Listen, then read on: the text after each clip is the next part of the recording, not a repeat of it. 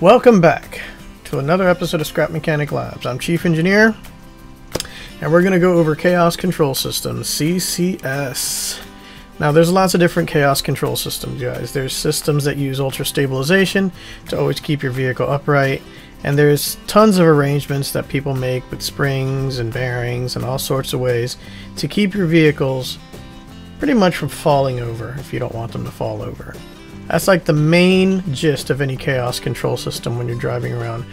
And uh, that chaos gets amplified the faster you go. We're going to be focusing on two types of systems. The first one I call a TBS system, or torsion bearing suspension. And the second one is called an SAS system, or a soft active stabilization system. So uh, stick around. It's going to be really cool. We're going to be looking at a lot of the different vehicles which I have around me. Uh, one of them uses springs, the other does not use springs at all. And you're going to see the difference in performance between the two how one would favor more of an early game in a survival scenario, and another system would favor more late game. But we'll let you decide how you want to play that out when survival comes out, right? But this is about being prepared. This is about knowing everything you can possibly know about Scrap Mechanic and knowing it well. So stick around right after these messages. All right, right now we're looking at a, uh, a really nicely souped up TBS system here. You see we've got a torque bar right here connected to the rear wheel and if you look up in here we have another torque bar right in there connecting to the front wheels to allow us to have our steering and I have my little headlights on there so I could also lead with my lights in the direction that I'm going. First thing we're going to do is we're going to drive this around.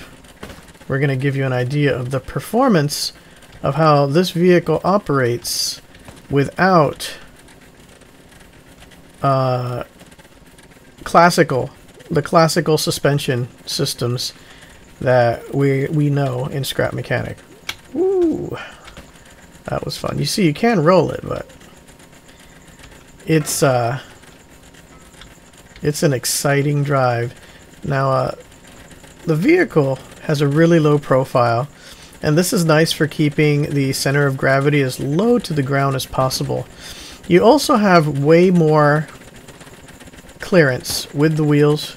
If you get a particularly hard impact into one of the wheels, the wheel just flings up really high, much further than the maximum two blocks, which is allowed, say, by, um, what you might call it, by a regular spring, I guess the um, off-road spring. Whereas the, uh, I guess the other spring only gives us one space. But you can see how far those wheels kick up. Um, now, I'm going to explain to you what's going on in this vehicle and how we're able to operate with gas engines. Oh my goodness. I believe the gas engines are at maximum on this vehicle. And, uh, yes, I know I got four of them in there, but there's a reason for that. We're going to talk about that in a second, too. Okay. So my little gas guzzler here, I call it the gas guzzler because it is a little gas guzzler. And early game in devblog, and, and many of the devblogs have already told us that things are going to scale. And uh, fuel is going to be, there's going to be scarcity to it. You're going to want to have to build it up. And uh, in devblog 16, let me look at my devblog 16 vehicle duplicate that I made here. In devblog 16, they show a vehicle that looks just like that. I'm going to put a picture of it in the top corner here so you could make a comparison between the devblog 16 vehicle and mine. It's exactly the same. I, the only difference here is I have this to replace what I believe a fuel tank is going to be about that size. Now, one of the tricks about the devblog 16 is um, when you look at it with your connection tool, and they show us the picture in the connection tool, there's an engine here what you don't realize is there is another engine hidden on this side, which we can see now in my replication. Another thing they show us in the DevBlog 16 photo of their vehicle that they're using to test survival mode, I might add, is that that engine is connected to one bearing, not two bearings. Each engine is connected to a separate bearing to drive the vehicle. To me, this indicates that um, the way engines will scale or get or get better with upgrade kits may be determined by the number of bearings they'll be able to support. And since I think they were um, experimenting with early game mechanics, that um, that is what was the impression I got for my design for an early game vehicle. Now here you see I've got two sets of counter rotating bearings. That's what locks um, the bearing there. That also begs the question, why, why do you use the seat bearings to do this? Well, seat bearings are much softer, much softer than controller bearings. And they also don't lock up on you. Seat bearings are almost always flexible and they're always soft. So you're going to want to use the seat bearings, and there's no problem with using seat bearings. There doesn't appear to be any upper limit to how many bearings you could attach to a seat and then bearing lock them by using a small pipe and inverting both bearings so that there's cancellation there. So here's another example showing just how many bearings you could have connected and doesn't seem to care. So we might as well take advantage of that. And when I turn, you see the pipes turn, but they're canceling each other out. So it keeps everything nice and steady and you could take advantage of that torsion bearing suspension system. You guys could have fun with this. Torsion bearing suspension also gives you really low clearance. There's a tendency when you usually build with traditional suspension systems to lift the vehicle higher off the ground to incorporate uh, those springs underneath and that also lifts the center of gravity of the vehicle up much higher which creates more of a possibility for you to roll the vehicle when you're driving around on the engine. So this is a really, really fun example of uh, how you could take advantage of that torsion bearing suspension system. One other thing, um, the scalability of your vehicle over time is going to be determined by the top end of the engine. Now I was operating this vehicle with four gas engines with all four of those engines maximized. Alright? And they were each connected to a separate wheel. But realistically, in early game, in survival, these engines are probably going to be operating within this range, the bottom three tier, and you want it to be something useful that you could get away from any little farm bots out there that probably will be trying to chase you down and break the things that you love. So, having a vehicle that's still usable at that low end of the spectrum means building something like this might be really the go-to um, chassis for you, especially considering that in DevBlog 17 they showed us all the different interactive parts that are going to be upgradable and springs are one of them. So you might want to use those um, component kits on other more important things like your seat or your engine or something else that you could get more utility out of and help you progress better in the game without wasting it on suspension. Now, another neat thing about um, torsion bearing suspension is that you can adjust the stiffness of the suspension simply by adjusting the length of the bar and moving that bearing, that locked little bearing array back further or more towards the center of mass of the vehicle. So you just think of it as a lever. You're twisting a lever up. The shorter of a lever you have, the harder it's going to be to twist that that um, that torsion bar that's in the middle, or that torsion bearing, might I add. So um, I hope that gave you a really good idea of how torsion uh, bearing suspension works, TBS systems. Now we're going to move on to pretty much the complete opposite, which is fully suspension-based symptoms. I mean, suspension-based systems. These are what I call SAS systems, SAS, and that stands for Soft Active Stabilization.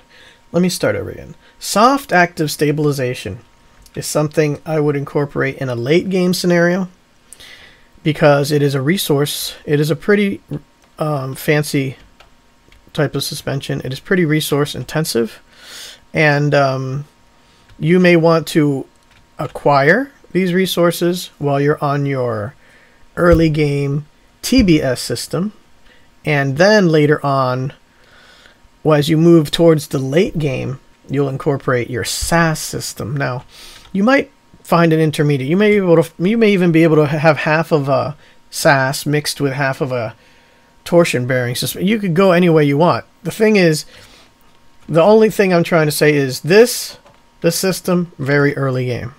This system very late game. And you could mix and match how you do it in between here and there, from there to here, whatever. Um, the nice thing about SAS systems is that they scale well onto the larger wheels, whereas uh, torsion bearing suspension systems scale very well, and the, their chassis scale very well on the smaller wheels. See, I was operating this vehicle at full power, and it was a very fun, mostly controllable ride. Uh, where is the other example? Now, this is a torque uh, torsion bearing suspension system, but we, we tried to integrate the larger wheels. We have this engine at full power, and you'll see that it is nowhere near as controllable once you scale the vehicle. I mean, you see the suspension working on it, but it doesn't scale well because you can't utilize a gas engine at its maximum I mean, if you want an exciting drive, go ahead and take a a torsion bearing suspension system. Go ahead and take that and put the large wheels on it and you're going to have a very exciting drive. Very exciting. Uh, I prefer something a bit more controllable. So when I upgrade to larger wheels, I'm going to also simultaneously upgrade my chassis to SAS based chassis. Now, you can mix and match SAS systems and do all kinds of stuff with them. But before we move on, let's take a SAS system on a drive and then I'll demonstrate to you how it works. Here's the SAS system. Take it in with your within all its glory. And then this is going to be operating with an engine at maximum power, large wheels. And let's take it for a drive. Now right off the bat you're going to say, wow, that looks ultra stabilized, or pretty darn near close to it. And uh, why don't you just call it a regular spring stabilized system or using a spring stabilizer? And the reason why I came up with a new naming scheme for it is because even though this is spring stabilized, I want you to tell me if you could spot those springs and where they are. Can you? Where is my ultra stabilization? Did I hide it? Nope, it's in plain sight. You can see it. And uh, believe it or not, the springs that you see being compressed that I'm driving on are the only... Uh, there's actually three. There is my center spring, which I use for turning left and right. There is a front spring, and there is a back spring and this vehicle utilizes large wheels, full power, and it drives me all over the place incredibly fast and gets me to where I want to go. So what is going on in this vehicle? Alright, let's roll it over. Let's take a look. Underneath the seat, we're going to turn off the engine because we're going to dissect this underneath the seat you see our one steering suspension. On the sides we just have our storage compartments for when we gather up our resources. And underneath there's just two controllers. That's it. Um, what's happening in this vehicle, how this thing is being stabilized is going to be demonstrated on this demo unit right here. Now here we have a demo unit which has an enclosed set of springs. Now these springs aren't glitched into each other to make an ultra stabilizer. These springs are just restricted within this one box to give us soft stabilization. This is the SAS that I was telling you about. That's why we could have such a thin profiled vehicle, thinly profiled vehicle, that doesn't fall over when I worm around and twist it all over the place through everywhere we're going. And the suspension inside, the suspension inside is active. Now, soon as I lifted, soon as I lifted that, it became like a floppy nothingness and just fell right over. Well, it fell right over earlier, but let me give you an example, a better example. Without the spring encased, it reacts more like you would expect the vehicle to react. It just falls right over when you drive it along.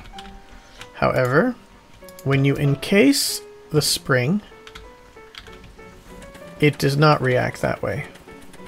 This was the demo. This was the original experiment that I did that led me to the discovery of, uh, of SAS systems.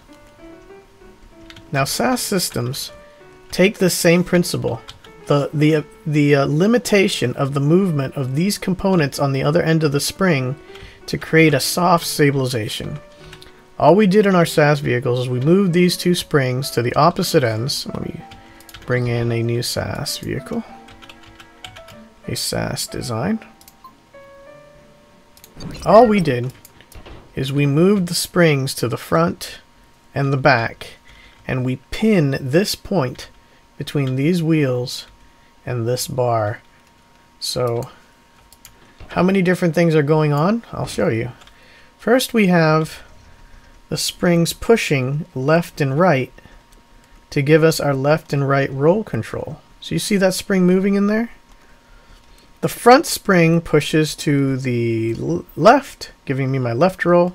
The back spring pushes to the right, giving me my right roll on this SAS vehicle. At the same time, because of the way we've got that area blocked off on three sides, we're getting soft stabilization. And because we didn't glitch the spring into itself or into a wall to make a super stabilizer, we still get to enjoy the springiness of the spring. We still have the, that suspension there. So we have our suspension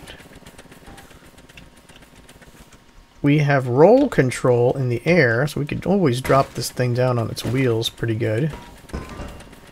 And um, we don't even really need to be micromanaging the roll control because it's already softly stabilized and it just won't roll on its own. It'll just slide on its side wheels, it'll skid, but it'll keep us pretty much upright. So these are the advantages of a late game SAS system. Now, I play with these vehicles all the time on my Twitch stream, so I'm going to have a link to my Twitch stream down below. As you know, these things that I've built, they can do a lot more, but it goes really outside of the scope of the of this video, which is primarily just to inform you on suspension designs and chaos control systems. If you want to see more about what these types of vehicles do, join me on my Twitch stream. And uh, the information is going to be below in the uh, description of this video.